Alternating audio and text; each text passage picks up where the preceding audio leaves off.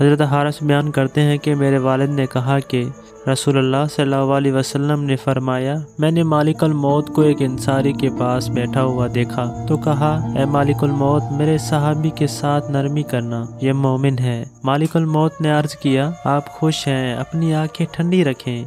क्योंकि मैं हर मोमिन के साथ नरमी करता हूँ। अल्लाह के रसूल सल्लल्लाहु वसल्लम, आप यकीन रखें, जब मैं इब्ने आदम की रूह कब्ज करता हूँ और इसके घर वालों में से कोई चीख कर रोता है तो इसकी रूह लेकर खड़ा हो जाता हूँ और सोचता हूँ कि ये क्यों रो रहे हैं। अल्लाह की कसम, हमने इस पर कोई जुल्म नहीं किया, ना ही वक्त से पहले इसकी रूह कब्ज की। अगर ये अल्लाह की तकदीर पर सब्र करें तो इनको अजर मिलेगा। अगर ये चीखो पुकार करेंगे तो गुनागार होंगे।